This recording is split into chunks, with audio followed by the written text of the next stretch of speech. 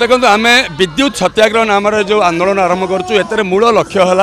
যে ওড়শার যে বিদ্যুৎর সরবরাহ বাধাপ্রাপ্ত হচ্ছে এবং বিদ্যুৎ রেট যে আপনার দেখবে এবে চারিগুণ বড়ি যাই আপনার যদি কোভিড পিরিয়ড পাখাপাখি দেখবে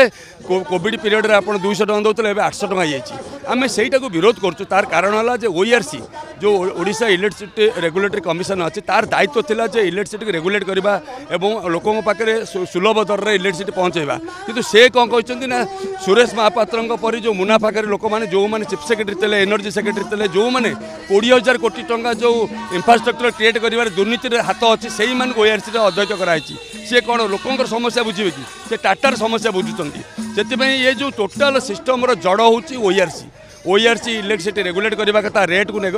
ନେଗୋସିଏସନ୍ କରିବା କଥା ରେଟ୍ କଣ୍ଟ୍ରୋଲ୍ କରିବା କଥା ଆମକୁ ରେଟ୍ରେ ରେଟ୍ରେ ଆମକୁ ଠିକ୍ ରେଟ୍ରେ ଦେବା କଥା ଆପଣ ଯଦି ଇଲେକ୍ଟ୍ରି ବିଲ୍ କି ନିରୀକ୍ଷେଇକି ଦେଖିବେ ସେଥିରେ ତିନୋଟିରେ ଆମେ ଅବଜେକ୍ସନ୍ ନେଉଛୁ କ'ଣ ତିନୋଟି ଅବଜେକ୍ସନ୍ ଗୋଟେ ଏମ୍ ଏଫ୍ ସି ନାଁରେ ସେ ଏମ୍ ଏଫ୍ ସି ଅର୍ଥ ମର୍ଚାଣ୍ଟର ପ୍ରଫିଟ୍ ସେ ନେଉଛନ୍ତି ପାଖାପାଖି ଷାଠିଏ ଟଙ୍କାରୁ ଶହେ କୋଡ଼ିଏ ଟଙ୍କା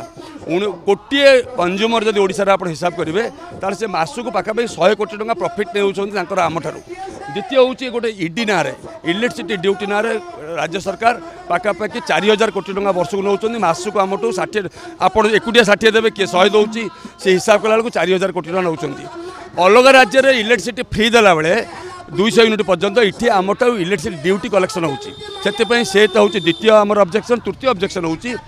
টাটা কোম্পানি আমঠু দুই টাকা তিরিশ পয়সার কিণুছি বিকুছি আমি ফার্স্ট স্লাবটা হচ্ছে তিন টাকা তাপরে পাঁচ টাকা অশি পয়সা কোণ পাই ये तीनोटी अब्जेक्शन आम करुँ आम चाहूँ